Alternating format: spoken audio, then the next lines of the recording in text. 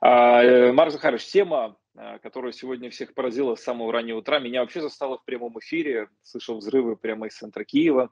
Такое себе ощущение, честно говоря. Тем не менее, а, начали с Запорожья, продолжили Киевом, Днепропетровщина. Ну и, по сути, вся карта Украины сегодня была подвержена обстрелам со стороны России.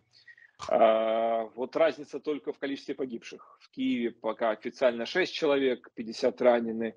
А в Запорожье, если я не ошибаюсь, 16 эм, погибших, а Днепропетровщина 4 и так далее. Вроде как били по а, объектам гражданской инфраструктуры, но как-то половина не долетала и попадала в людей, которые стояли просто на светофорах, ехали на работу. Мар Захарович, Путин таким образом всерьез хочет Зеленского усадить за стол переговоров? Я вот, честно говоря, думаю, что если он руководствуется этим, то в самую последнюю очередь.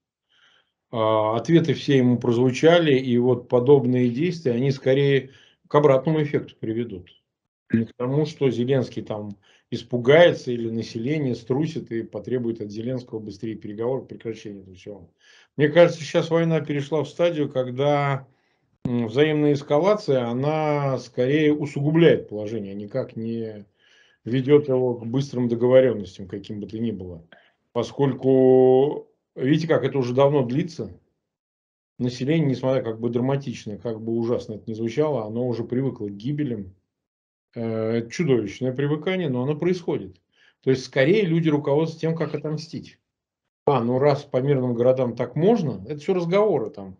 Инфраструктура военная, критические объекты, центры принятия решений, умирают люди, не какие-то там абстрактные э, военные объекты, а погибают конкретные люди, имена, фамилии, дети там часто, и так далее, гражданские лица.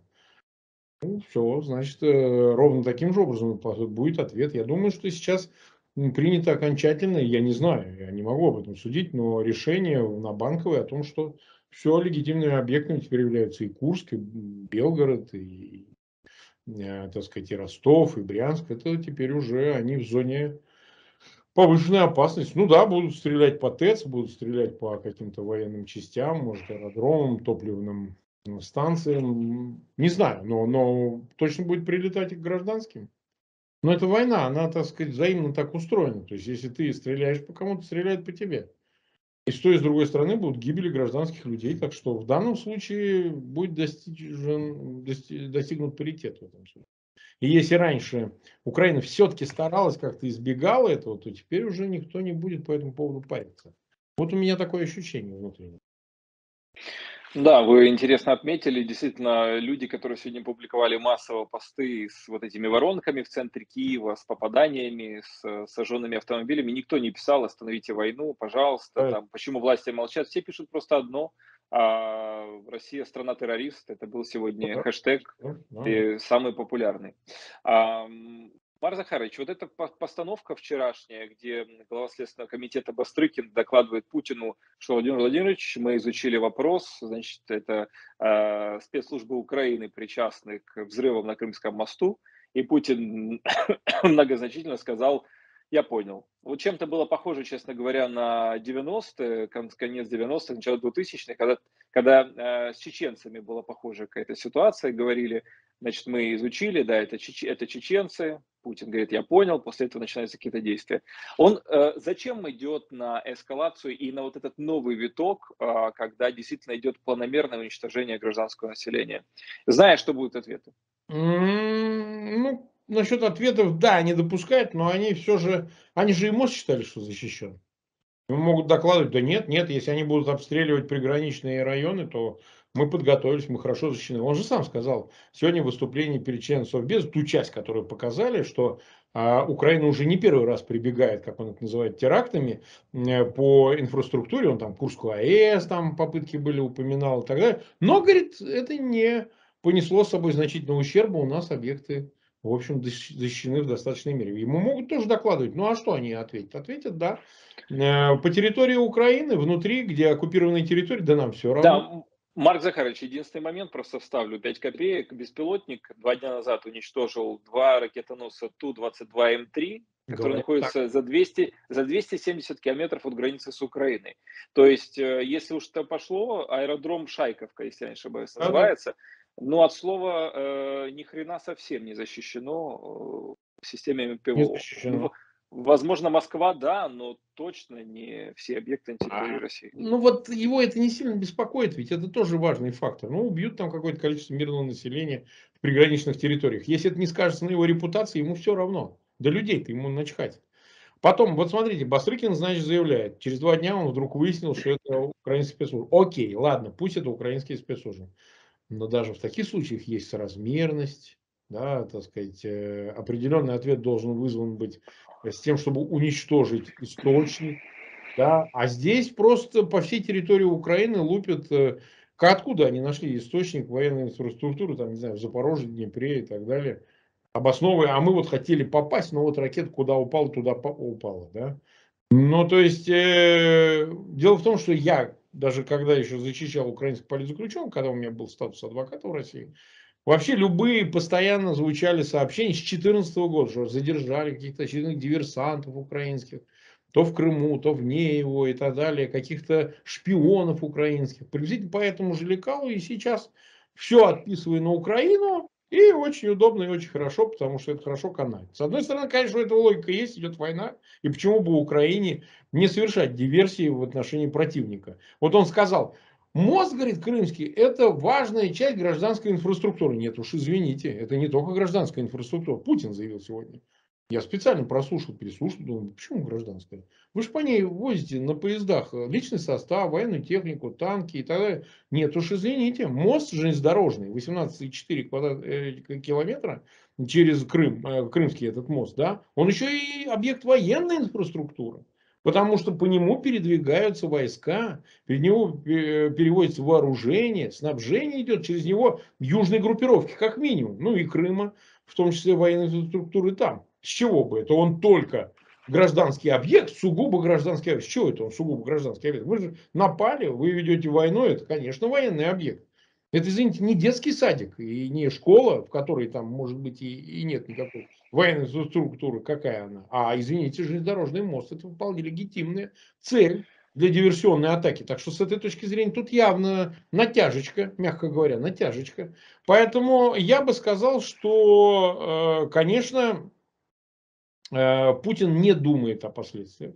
А что ему думать о последствиях? Думал бы он о последствиях, может и по-другому бы поступил 24 февраля. Вот, последствия в виде издержек э, гибели мирного населения или чего бы то ни было, там, самолетов, э, воинских каких-то объектов, военных объектов, но его мало волнует. Мало волнует в принципе. Другое дело, он может не осознавать масштаба. Его беспокоит только реакция населения. Ведь он тоже в каком-то смысле ответил на требования, обращенные к нему. Значит, мы слышали это все, надо ответить по центрам принятия решений, критическая инфраструктура, вот они уже и до Крымского моста добрались. То есть он в каком-то смысле зависим и от пропаганды, и от общественного мнения этой пропаганды сформированного. Вот тут, конечно, он уязвимый. Поэтому я-то как раз думаю, что и Украина, да и Запад через нее будут продолжать собственно говоря, воздействовать на это общественное мнение для того, чтобы подорвать доверие к Путину. Ведь он этими ударами пытается вернуть себе. Смотрите, мы ответили. Да? Смотрите, я какой. Но поскольку эта воронка, она вовлекает в себя глубже, глубже, глубже, это все тебе ответ на ответ, ответ на ответ, ответ на ответ. Вот она и есть война-то так.